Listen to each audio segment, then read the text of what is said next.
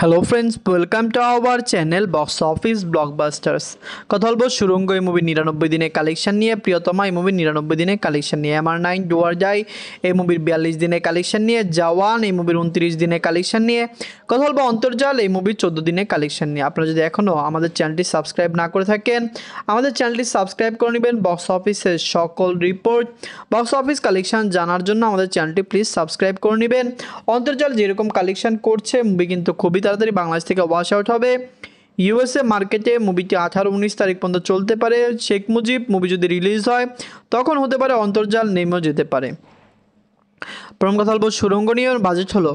এক কোটি টাকা লিডার হলো আফরান নিশু সালিম জিনিসদের নিরানব্বই দিন কমপ্লিট করে নিয়েছে। আপনারা জানেন সুরঙ্গ একটি অসাধারণ ফিল্ম আফরান নিশু স্যার অভিনীত সুরঙ্গ যে ডিরেক্টর রায়হান রাফিসার বক্স অফিসে মুভিটি ভালো কালেকশন করেছে। মুভিটি একটি মেগা ব্লকবাস্টার হয়েছে। মুভির বাজেট এক কোটি মুভির প্রিন্টিং পাবলিসিটি খরচ কিন্তু আড়াই কোটি টাকা, যার কারণে মুভির টোটাল বাজেট সাড়ে তিন কোটি টাকা। নিজেদের নিরানব্বই দিনে বাংলাদেশ থেকে আয় করেছে দুই লক্ষ টাকা। টোটাল এই মুভির গ্রোস হলো চোদ্দ কোটি এগারো লক্ষ টাকা। আপনারা যদি এখনও সুরঙ্গ না থাকেন। দেখবেন আফরান ইসু অভিনীত সুরঙ্গ যে ডিরেক্টর রায়হান রাফি স্যার, মুভিটি কেমন লেগেছে কমেন্ট করে জানিয়ে দেবেন। এখন কথা বলব, প্রিয়তমা নিয়ে বাজছিল দুই কোটি টাকা লিডার হলো সুপারস্টার সাকিব খান স্যার যিনি নিরানব্বই দিন কমপ্লিট করে নিয়েছে। প্রিয়তমা একটি অসাধারণ film superstar Shakib Khan sir. অভিনীত প্রিয়তমা ফিল্মটি মেগা ব্লকবাস্টার দর্শকদের আলোচনা, সমালোচনার মধ্যে প্রিয়তমা বাংলাদেশের ইতিহাসে সবচেয়ে বড় বিগ বাজেট ফিল্ম হয়েছিল। সবচেয়ে বড় বিগেস্ট ব্লকবাস্টার ফিল্ম হয়েছিল। এত কম বাজেটে এত বেশি টাকা আয় করা, এত প্রফিটেবল বিজনেস করা বাংলাদেশের ইতিহাসে কোনো ফিল্ম করতে পারেনি।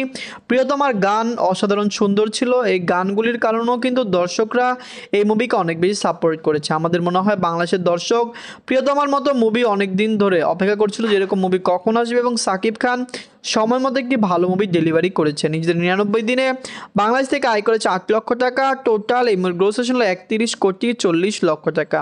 আপনার যদি এখনও প্রিয়তমা না থাকেন, দেখবেন সুপারস্টার সাকিব খান স্যার অভিনীত প্রিয়তমা ফিল্মটি কেমন লেগেছে? কমেন্ট করে জানিয়ে দিবেন।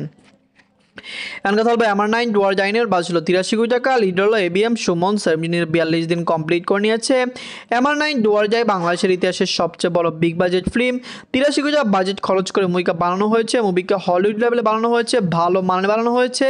কিন্তু মুভির স্টোরি ছিল খুবই উইক স্টোরির জন্য মুভিটি একটি মেগা ব্লকবাস্টার হয়নি। এমনিও বাংলাদেশের মুভি যদি তিরাশি কোটি বাজেটে খরচ করে বানানো হয় কখনোই সেই মুভি রিকভার করতে পারবে না। কিন্তু তিরাশি কোটি বাজেটের মধ্যে হলিউডের প্রডিউসারই এই মুভির বাজেট সবচেয়ে বেশি দিয়েছেন। বাংলাদেশের যেই প্রডিউসার ছিল জাস মাল্টিমিডিয়া যারা প্রজেকশন ছিল, তারা কিন্তু বেশি বাজেট খরচ করেন। নিজের বিয়াল্লিশ দিনে এমনি বাংলাদেশ থেকে আয় করেছে পাঁচ লক্ষ টাকা। টোটাল এই মুভির গ্রোস ছিল ছেচল্লিশ কোটি ছেষট্টি লক্ষ টাকা। আপনার যদি এখনও এমআর নাইন ডুয়ার যায় না থাকেন, দেখবেন এবিএম সুমন স্যার, অভিনীত MR nine do or die. ফিল্মটি কেমন লেগেছে কমেন্ট করে জানিয়ে দিবেন। বক্স অফিসে মুভিটি কীরকম আয় করবে, কত টাকা আয় করবে এবং লাইফ টাইমে মুভি কীরকম কালেকশন করবে, এটিও কমেন্ট করে জানিয়ে দিয়েন। এখন কথা বলব জওয়ানের বাজেট ছিল তিনশো কোটি রুপি লিডার হলো শাহরুখ খান স্যার যিনি উনত্রিশ দিন কমপ্লিট করে নিয়েছে। জওয়ান একটি অসাধারণ ফিল্ম শাহরুখ খান স্যার, অভিনীত জওয়ান ফিল্মটি রেকর্ড ব্রেকিং কালেকশন করছে। আপনারা জানেন বাংলাদেশের মুভির কালেকশন খুবই ভালো বাংলাদেশের মুভি মেগা ব্লকবাস্টার হয়েছে। বাংলাদেশের বাইরে আপনারা জানেন মুভি ইন্ডিয়াতে রিলিজ হয়েছে ইন্ডিয়াতে অসাধারণ কালেকশন করছে। ইউএসএ মার্কেটে মুভিটি একশো কোটি টাকা প্লাস বিজনেস করেছে, যেটি একটি অসাধারণ কালেকশন কারণ আমাদের কখনোই মনে হয়নি জাওয়ান ইন্ডিয়ার বাইরে কোনো টেরিটরির থেকে একশো কোটি প্লাস বিজনেস করতে পারে। ইউএসএতে করেছে আরব গল্ফে মুভির কালেকশন খুবই ভালো রেকর্ড ব্রেকিং কালেকশন করেছে, যার কারণে আমাদের মনে হয় জাওয়ান লাইফ টাইমে আরও বেশি আয় করবে মুভি আরও লং টাইম রান করবে। নিজের উনত্রিশ দিনে বাংলাদেশ থেকে আয় করেছে বিশ লক্ষ টাকা।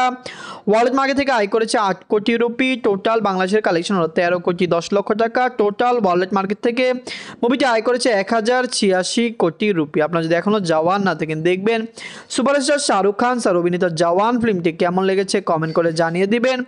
আলোচনা, সমালোচনার মধ্যে দর্শকরা এই মুভিকে সাপোর্ট করেছে, অনেকে বয়কট করেছে, কিন্তু জওয়ান রেকর্ড ব্রেকিং কালেকশন পুরো ওয়ার্ল্ড মার্কেটে করতে পেরেছে।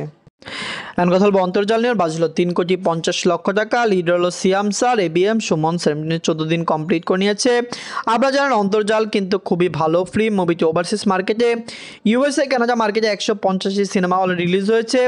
বাংলাদেশ থেকে মুভিটি রিভিউ ভালো পেয়েছিল, কিন্তু রেসপন্স খারাপ পাচ্ছে। এর প্রধান কারণ হলো আপনারা জানেন জাওয়ান বাংলাদেশের রেকর্ড ব্রেকিং কালেকশন করছে। জাওয়ানের কারণে বাংলাদেশের সকল মুভি ক্ষতিগ্রস্ত হয়েছে কারণ সকল মুভির শো কিন্তু কমানো হয়েছিল। জওয়ানকে এরকমভাবে রিলিজ করার পরে জওয়ান এরকম আয় করার পরে আমার মনে হয় যে বাংলাদেশের দর্শকদের জন্য খুবই একটি ডিফিকাল্ট ছিল যে তারা কি জওয়ান দেখবে নাকি নতুন মুভিগুলি দেখবে। অন্তর্জাল বাংলাদেশ থেকে ভালো সাপোর্ট পায়নি ইউএসএ কানাডা মার্কেট থেকে দর্শকরা এই মুভিকে সাপোর্ট করেছে।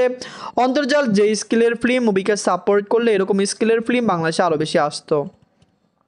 নিজের চোদ্দ দিনে বাংলাদেশ থেকে আয় করেছে বারো লক্ষ টাকা ওভারসিজ মার্কেট থেকে আয় করেছে আট লক্ষ টাকা। মুভিটি ওয়ার্ল্ড মার্কেট থেকে আয় করেছে বিশ লক্ষ টাকা।